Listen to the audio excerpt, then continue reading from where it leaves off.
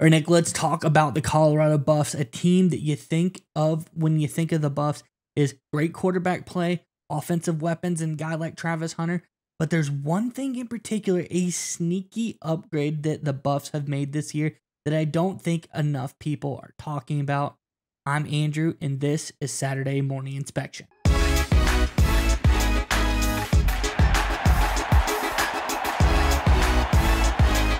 Nick, as I alluded to, there was a sneaky upgrade that Colorado made this year that's paying off big dividends.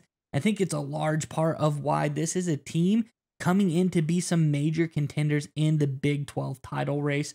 Let's get into the article and we can talk more about this on the other side.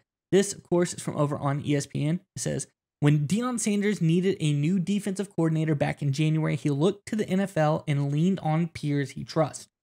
10 months later, it's not hard to be impressed by what Robert Livingston is achieving in Boulder. Under his leadership, the Buffaloes have one of the college football's most improved defenses. Just look at their stop rate.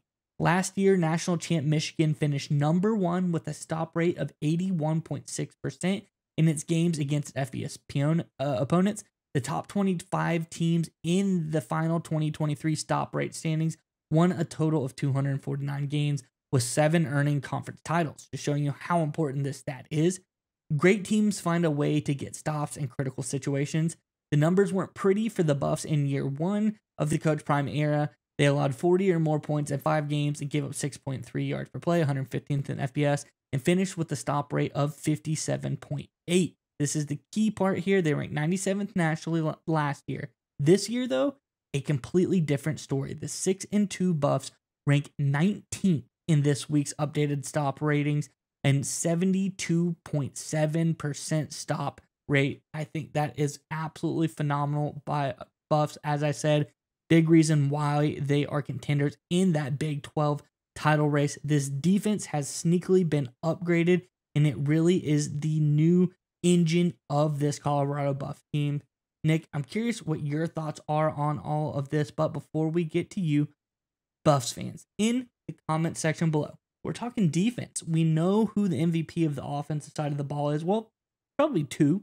So I'm going to go ahead and take one easy defensive name out, and that's Travis Hunter.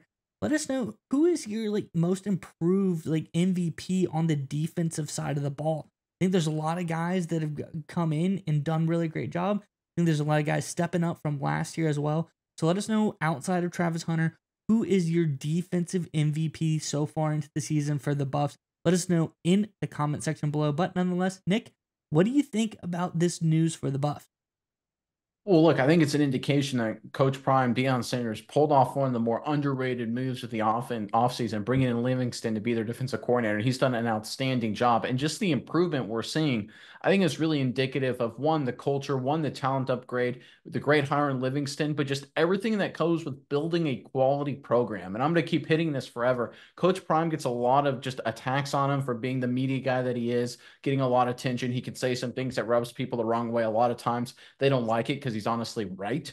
But the reality is, what Coach Prime doesn't get enough credit for it is the quality program building he's done already at Colorado. This was a program that was a dumpster fire a couple years ago. He's come in and made them a ranked team. They were ranked early last season before the struggles down the stretch, and now they are ranked much better this year. And a big reason why they have consistent staying power is because of that defensive improvement. And this is quality program building, right? You talk about improvement, right? It would have been one thing if Shedeur Sanders and Travis Hunter this season were just putting up crazy numbers and they're winning every game like 52 to 49, and they were, you know, they were six and two, and it was like, okay, they're really not getting better. They're just relying on Shedeur and Travis Hunter to go out there and go crazy. That's not sustainable. But the reality is they're becoming a more complete team. Offensive line is a little bit better, right? Still far from perfect. I will admit that, right? Long way to go, but they're better. Defense across the board, all three levels is a lot better. In fact, even the the other Sanders, he's getting a lot of criticism for how he's been playing. The defensive structure around him has actually been pretty solid. So again, we're talking about a program that's being built here. This isn't just a couple stars. This isn't a social media entity like everyone criticized Sanders that he was building for Colorado. He is building a legitimate, long-lasting program with quality coaching, quality transfers, quality recruits, quality player development, people getting better week in and week out, buying into the culture, buying into the system if any other program, and, and I like Nebraska, I like Matt Rhule. If Nebraska and Matt Rhule right now were six and two and they were ranked in the top 25, a lot of people would be singing their praises. We would be, right? We're trying to be straight shooters on the show. Matt Rhule, Nebraska, even with Dylan Raiola, they got a great quarterback just like Colorado. They're struggling a lot, right? They're having some issues. Right now, Colorado is going the other direction, even though Nebraska beat the brakes off them early. And that's what I'm talking about program building. One week does not define you. You get better week in and week out. Your next performance is your best performance. You're continually building on yourself, building depth, getting better. Coach Prime has done an incredible job. And this statistic right here is just an evidence of just a fantastic effort across the board by this coaching staff. Yeah, Nick, and I think there's one part in this article, kind of a comment by a player I really love about what Coach Livingston did when he came in here. And I think it's a huge part of why this defense is so good.